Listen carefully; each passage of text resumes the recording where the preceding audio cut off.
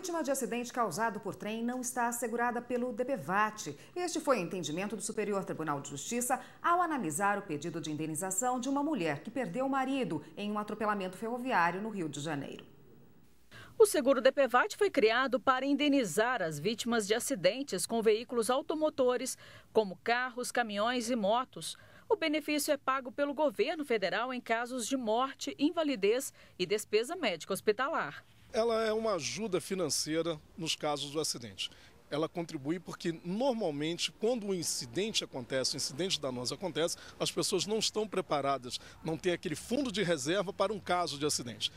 Aí sim, o DPVAT entra para contribuir para que aquela pessoa possa ter um, um, dinheiro, possa ter um resgate financeiro que possa cobrir as suas necessidades nesse infortuito acidente que eventualmente possa ocorrer.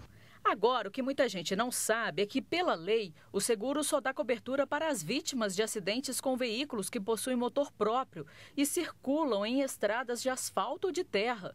Os veículos que trafegam sobre trilhos, como trens, não estão incluídos na cobertura desse seguro. E foi com esse entendimento que os ministros da quarta turma do STJ analisaram o recurso de uma viúva que perdeu o marido em 2006, atropelado por um trem no Rio de Janeiro. A Justiça de Santa Catarina negou o pedido de indenização.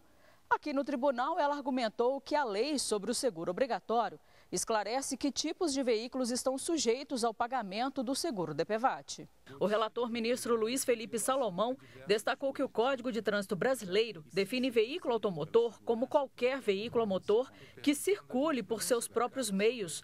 O ministro destacou que os trens podem ter motores próprios, mas precisam dos trilhos para se locomoverem. Por isso, o pedido da viúva foi negado.